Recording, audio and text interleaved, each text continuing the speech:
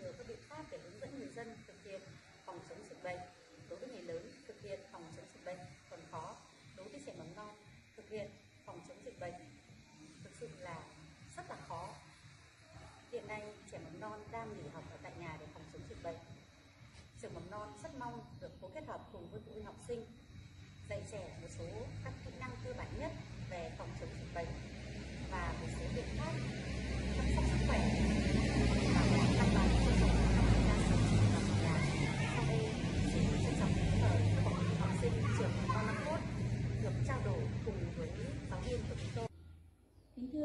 huynh học sinh, người già và trẻ em, nhất là trẻ nhỏ từ 0 đến 5 tuổi có hệ miễn dịch yếu, có nguy cơ cao nhiễm các dịch bệnh. Trong bối cảnh dịch Covid-19 diễn biến rất phức tạp như hiện nay, làm thế nào để phòng dịch tại nhà cho trẻ được tốt nhất đang là vấn đề được rất nhiều các bậc phụ huynh học sinh quan tâm. Các bậc phụ huynh học sinh thân mến, để đảm bảo cho trẻ có chế độ dinh dưỡng đầy đủ, khoa học và hợp lý, tăng cường sức đề kháng, nâng cao sức khỏe cho trẻ chống lại các virus gây bệnh, các bậc phụ huynh nên cho trẻ uống đủ nước, bổ sung các thực phẩm giàu protein như thịt, trứng, cá, bổ sung các thực phẩm giàu kẽm như tôm, cua, các loại ngũ cốc, bổ sung các loại rau củ quả giàu vitamin C và vitamin E. Vâng, ngoài việc đảm bảo chế độ dinh dưỡng cho trẻ, các bậc phụ huynh cần tập cho trẻ có nề nếp thói quen sống lành mạnh như đi ngủ đúng giờ, đủ giấc, thường xuyên tập luyện thể dục thể thao vào buổi sáng, rửa tay bằng nước rửa tay và xà phòng diệt khuẩn, xúc miệng bằng nước muối loãng vào buổi tối và buổi sáng. Ngoài ra, các bậc phụ huynh cần quan tâm đến môi trường sống xung quanh trẻ, đảm bảo môi trường luôn an toàn và lành mạnh. Hạn chế cho trẻ tiếp xúc ở những nơi đông người. Khi trẻ có việc phải ra ngoài, cần cho trẻ đeo khẩu trang đúng cách. Khi phát hiện trẻ có biểu hiện ho, hít hơi hay sổ mũi, cần báo ngay cho các cơ sở y tế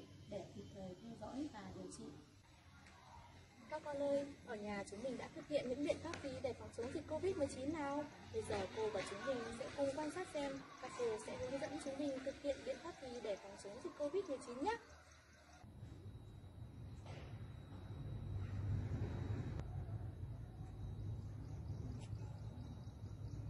Cô chào tất cả các con. Đã lâu lắm rồi cô chưa được gặp tất cả các con vì phòng dịch Covid-19 đấy. Để đảm bảo phòng dịch được an toàn và hiệu quả thì các con cần thường rửa tay bằng xà phòng. Hôm nay cô Hát sẽ hướng dẫn các con rửa tay bằng xà phòng theo 6 bước. Bước 1, các con sẽ mở vòi nước vừa phải làm ướt hai lòng bàn tay.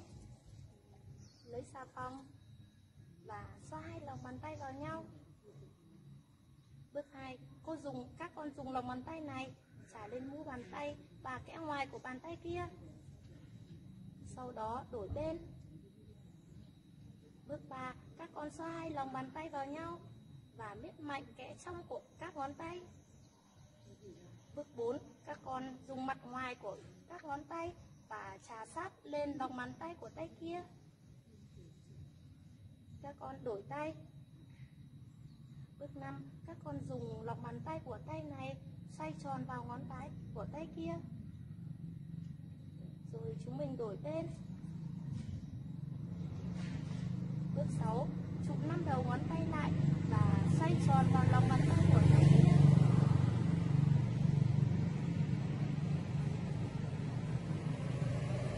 Sau đó xả sạch nước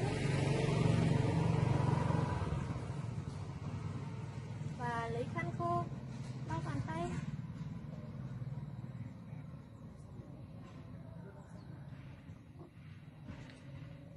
vừa rồi các cô đã hướng dẫn các con thực hiện 6 bước rửa tay bằng xà phòng cô hy vọng ở nhà các con sẽ thường xuyên rửa tay bằng xà phòng để đẩy lùi dịch bệnh để cô và các con sẽ nhanh chóng gặp lại nhau tại mái trường thân yêu xin chào và hẹn gặp lại tất cả các con Hưởng ứng lời kêu gọi của chính phủ về phòng chống dịch Covid-19, mọi người dân khi ra đường đều thực hiện đeo khẩu trang. Sau đây, cô mời các con hãy cùng quan sát các cô hướng dẫn chương trình thực hiện đeo khẩu trang. Cô chào tất cả các con. Trong thời gian nghỉ học ở nhà phòng chống dịch Covid, chúng mình nhớ là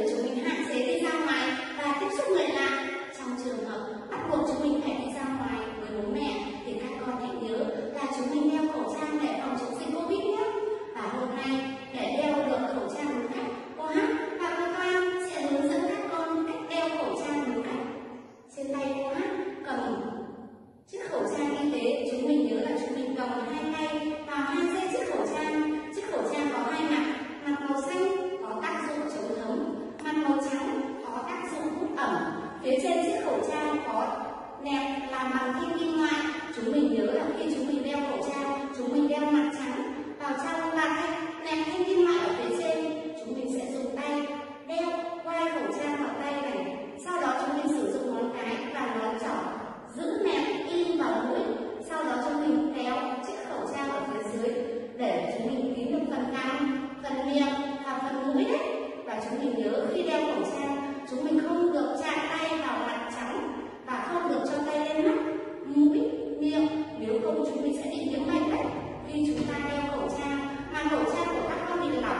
会人就会。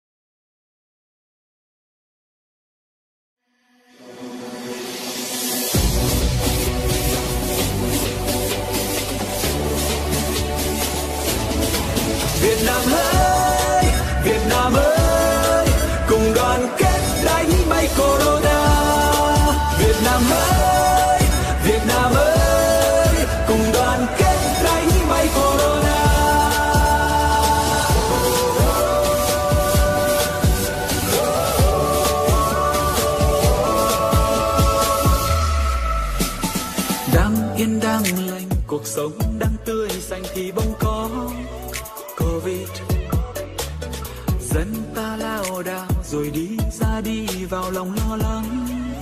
Giờ sao? Bình tĩnh luôn giữ tay, vệ sinh kỹ khắp nơi ở quanh mình và giữ ý thức nhà vượt qua gian khó Việt Nam ơi. Đừng share chuyện sai trên Facebook, phải đeo khẩu trang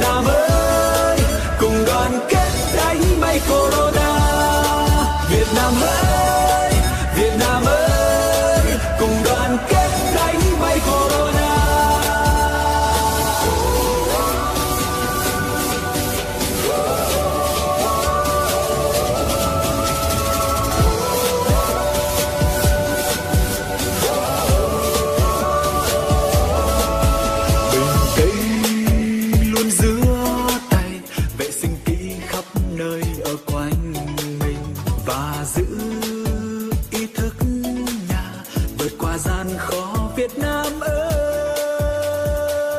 Đừng share chuyện sai trên Facebook, phải đeo khẩu trang cho đúng lúc, đừng kỳ thị ai văn